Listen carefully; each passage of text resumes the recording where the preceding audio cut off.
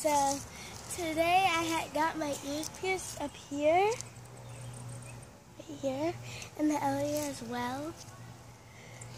They're really cool. Yeah, but today we're gonna be um, doing our life in the park, what it's like. So come on.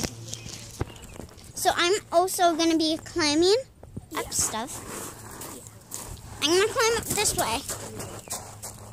Here you go. This is the bars. And One kind hand. of crazy because there was this guy that almost ran over like this at least like three or four year old. Yeah. And her mother had to rip her out of her bike, well, not like in a bad way, but had to like kind of throw her out of her bike and put her in the lawn because the guy was like speeding. Um, my Yeah. parents and Emily's parents had to like say to um, slow down and stuff like that. And but Oh, yeah, well, my friend Ronnie's here. yeah, my sister. Yeah. Your sister?